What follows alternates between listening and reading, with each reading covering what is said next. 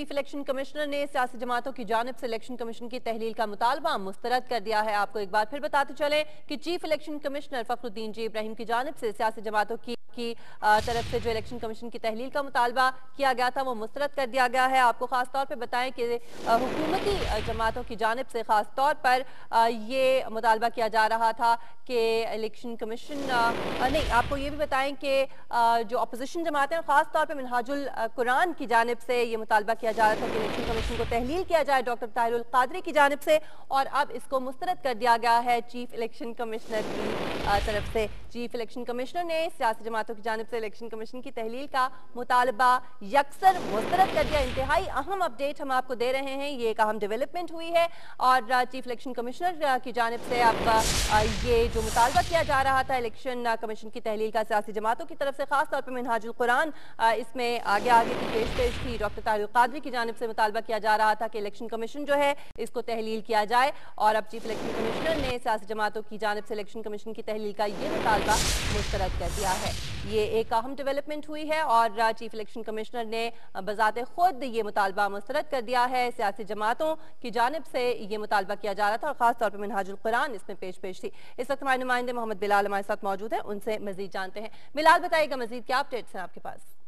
जी मिश्र, ये जब से चीफ इलेक्शन कमिश्नर और इलेक्शन कमीशन के ऊपर क्रिटिसिज्म स्टार्ट हुआ था तो आज पहली मरतबा chief election commissioner Fakhruddin G Ebrahim ने खुद जो है इसके ऊपर रिएक्ट किया है और उन्होंने जो मुतालबा है सियासी जमातों की जानब से इलेक्शन कमीशन को तहलील किया जाए, उसको यकसर मुस्तरद कर दिया और उनका कहना है कि उन समेत कमीशन के तमाम अरकान की तकर्री, कानून और आइन के मुताबिक हुई है। कमीशन के किसी रुकन की भी किसी सियासी जमात से वाबस्तगी नहीं है। सिर्फ़ सियासी मकासद के लिए इलेक्शन कमीशन को बदनाम किया जा रहा है। एक ऐसे मौका पर जब मौजूदा हुकूमत जो है वो अपना टेन्योर कंप्लीट करने के सिर्फ़ छह हफ़्ते जो है वो दूर ही रह गई है। चीफ इलेक्शन कमिश्नर ने इसमें वाजे किया है कि अगरचे स्टेक होल्डर्स को इलेक्शन कमीशन पर तनकीद का इख्तियार है, मगर इलेक्शन कमीशन के जो अरकान है, उनकी जातियात पर किसी किस्म के भी जो क्रिटिसिज्म है, वो उनके लिए नाकाबले कबूल है।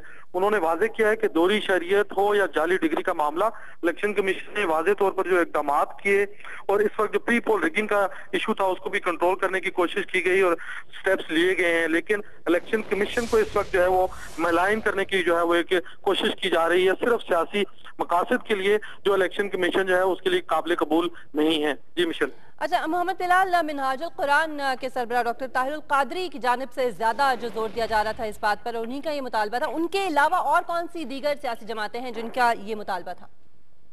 जी मिनाजुल कुरान के अलावा पाकिस्तान तरीके इंसाफ के जो चेयरमैन है इमरान खान, उनकी जानब से भी कल ये एक स्टेटेड पोजीशन क्लियर आई कि जो इलेक्शन कमीशन है, उस पर उसकी तश्कीलें नो होनी चाहिए। और वो भी जो मिनाजुल कुरान के सरबराह तारुल कादरी, उसके, उस उस जो उनका स्टांस है, उसको सपोर्ट कर रहे हैं। इसके साथ साथ पीएमएलक्यू की जानब से भी कुछ ऐसी तनकीद सामने आई थी कि कमीशन के जो अरकान है, उनके ऊपर उनको एतराजात हैं। अगरचे चीफ इलेक्शन कमिश्नर जो है, उनकी नज़र में जो है वो बिल्कुल अनकंट्रोवर्शियल जो है वो पर्सनैलिटी है। लेकिन चीफ इलेक्शन कमिश्नर ने जो आज ये स्टेटमेंट जारी की है, उसमें उन्होंने कहा है कि सियासी जमातों की जानब से जो तमाम क्रिटिसिज्म किया जा रहा है, ये अनएक्सेप्टेबल है और कमीशन जो है वो बिल्कुल इस वक्त जो है वो गैर जानबदार है ठीक है। और ठीक है बहुत शुक्रिया मोहम्मद बिलाल हमें अपडेट करने के लिए।